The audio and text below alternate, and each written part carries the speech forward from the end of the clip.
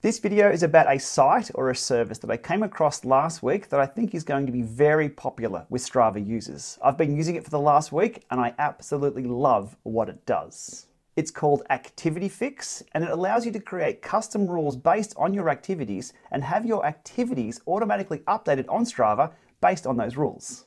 To run through a few example rules of what Activity Fix can do, let's just say your daily commute goes from home to work and the reverse, you can have a rule set up to automatically mark those activities as commute. Let's say your ride goes through a local forest where you'll never be riding your road bike. You can automatically then assign your mountain bike or gravel bike to that activity or something that I would have loved to have seen Strava implement with their newly announced mute activity function, and that is the ability to mute based on, well, with Activity Fix, we can mute any activity that matches any of our rules. For example, if you want to mute all your Peloton rides, you can do that. Maybe you want to mute all Zwift rides under 10 kilometers. That can also be done automatically with Activity Fix. That would really clean up a lot of our feed spam we get with people who do a warm up before a Zwift race or a Zwift event and double post their Zwift activities. Maybe you want to mute your hikes, your walks, your e-bike rides. That can all be done too. And for the more advanced users, you can also connect Activity Fix to both Garmin Connect and the Wahoo Cloud to detect the sensors used in your activity and then apply rules based on those. So for example, you can assign a bike that has a certain power meter, or maybe your ETAP or Di2 module is detected, and then you can assign a bike type for that too. Those examples are just the tip of the iceberg of what you can do with Activity Fix. It's very powerful and there are millions of combinations of rules that you can come up with. So you can no doubt see why this is going to be a very popular tool for Strava users. The Activity Fix website has a cute little summary of how this all works and I do like their tagline of getting started with Activity Fix is easy AF. You simply connect your Strava account to ActivityFix and you're good to go. You then create rules, which I'll run you through in just a moment, and your activities will be automatically updated based on the rules that you've created. With your Strava account now associated with ActivityFix, you log into the dashboard, which looks like this. First of all, being presented here with what's new. Now, this is a relatively new service. It's rapidly changing, lots of fixes, lots of new features being added in quick succession. So it's all listed here on the main page. Over on the left, you have rules, add rules, saved sensors for your Ant Plus sensors. There's a counters section, which I'll skip over today. That's for the more advanced users. Activity processing history, where you can check and debug your rules. FAQ, help and tutorial, and if you do like this service, I do recommend donating to the developer. Scrolling back up to add a rule, and I'll go through the process of creating the rule based on one of the examples that I mentioned at the start of the video. That will be to mute Zwift rides less than 10 kilometers. That's as simple as going up and adding rule, Kicking off with the ride name, I have a few that I've already tested. Let's go with Zwift Ride less than 10Ks.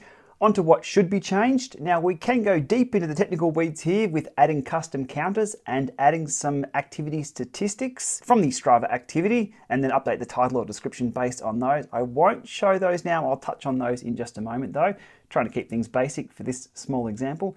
Okay, what to update? We can Set the gear used, we can set description, we can add to the description, set the title, add to title, set activity type, mark as commute, mark as trainer ride, or mute activity. And that's the one we're after. But if I do mute this activity, I want to know why it's muted. So we can add set description or add to description, AF muted, um, less than 10K, oh, 190. Right, okay. So this will mute the activity and add to description so I know what's going on. Now to scroll down to when should it be changed. So the rules that will then match the rides. And this gets, well, this gets pretty cool. There's a ton we can do here. Set conditions, so starting location, ending location, a route proximity, so some geo-based rules, activity type, ANT plus sensors, distance, average speed, day of week, start time, is trainer ride, power data, elevation, elevation distance, recording device, and title.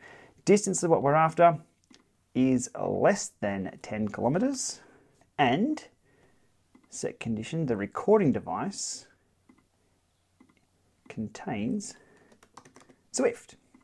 So any Zwift ride uploaded to Strava that is less than 10Ks, it will be muted from public feeds. It will still be on my profile though, if you want to snoop at that level, and it will have the description updated so I know what's going on. There's also an option there to stop processing any subsequent rules if the rule matches.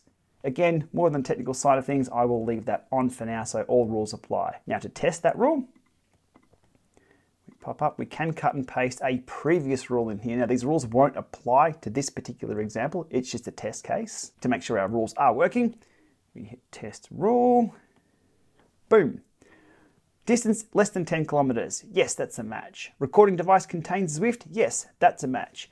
So their little example there, which is using some test data, we can't tell if a ride is muted or not on here, but we can see the description has been updated. AF muted, less than 10k Zwift ride. It's also worth noting, and they do have a little FAQ up here, if you have rules that match ANT Plus sensors, you can't run this test, and this is due to how ActivityFix interfaces with both Garmin Connect and the Wahoo Cloud, so you'll need to do some other testing on those.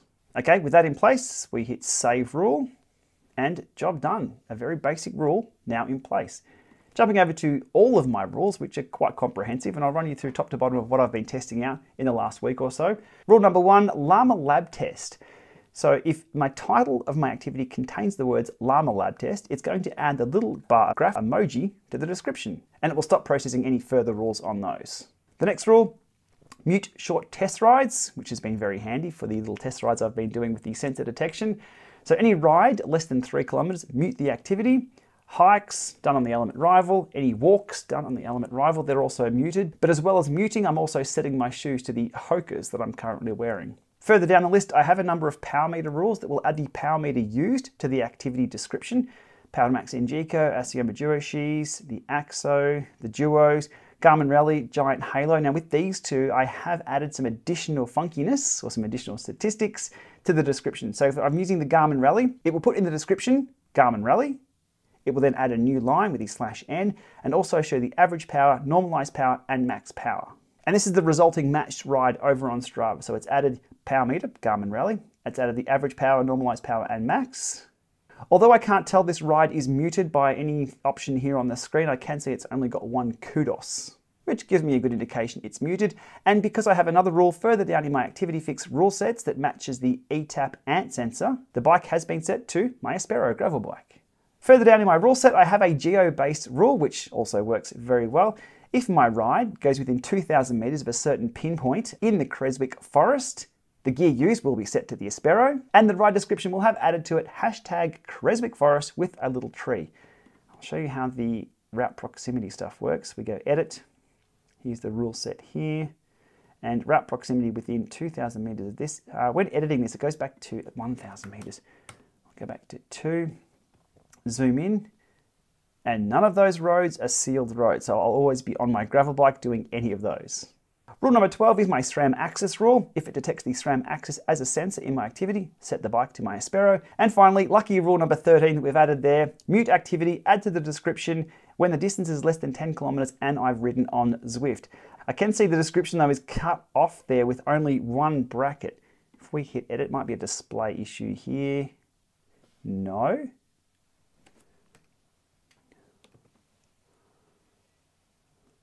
Less than 10k ride. We'll update that, save rule. My rules. In real time, I found a small bug with that. Uh, let's edit that and take out the